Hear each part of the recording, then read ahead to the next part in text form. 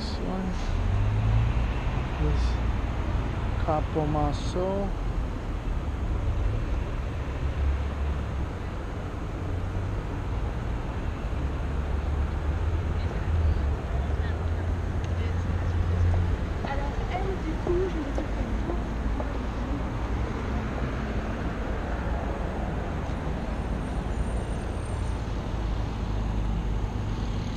76th Street between Madison, 76th Street, Madison Avenue.